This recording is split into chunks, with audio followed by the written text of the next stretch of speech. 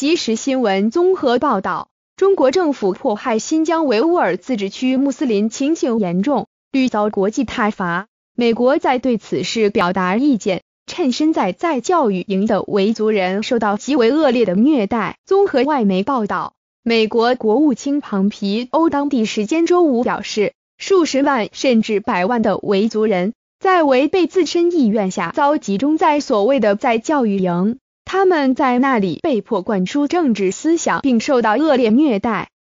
庞皮欧还对中国基督教徒的命运感到忧心，称中国政府关闭教堂。焚烧圣经，要求信徒签署文件放弃信仰。人权观察组织报告指出，中国正在新疆进行系统性且规模空前的人权侵犯行动，揭露当地穆斯林于在教育营受到的长期非人道虐待之证据，包括遭到虐打、禁闭、强迫政治教化等。受害者涵盖老弱妇孺。为谴责中国迫害人权，美国政府拟对中国官员。